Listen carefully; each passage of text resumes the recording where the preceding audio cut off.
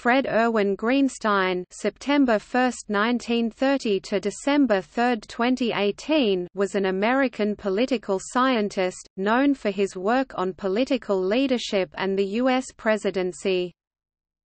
Born in the Bronx, New York City, in 1930, Greenstein completed a bachelor's degree at Antioch College in 1953 and a doctorate at Yale University in 1960.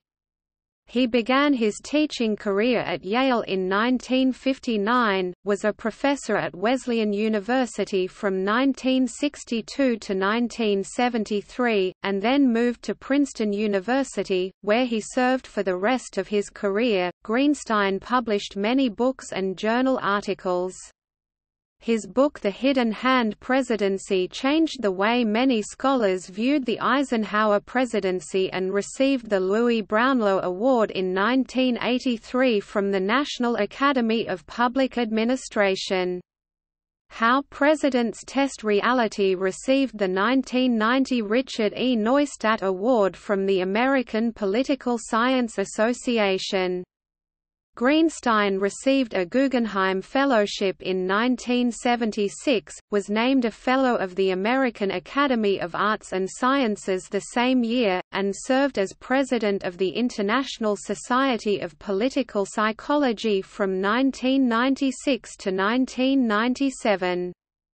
Greenstein retired from Princeton in 2001, and died at his home in Princeton, New Jersey, in 2018, aged 88. Greenstein's major books included The American Party System and the American People 1963, Children and Politics 1965, Personality and Politics, Problems of Evidence, Inference, and Conceptualization. 1969, The Handbook of Political Science. 1975 editor, with Nelson W. Polsby.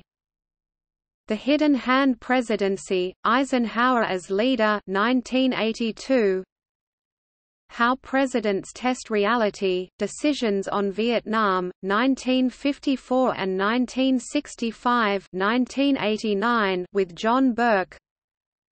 The Presidential Difference, Leadership Style from FDR to Clinton 2000 Inventing the Job of President, Leadership Style from George Washington to Andrew Jackson 2009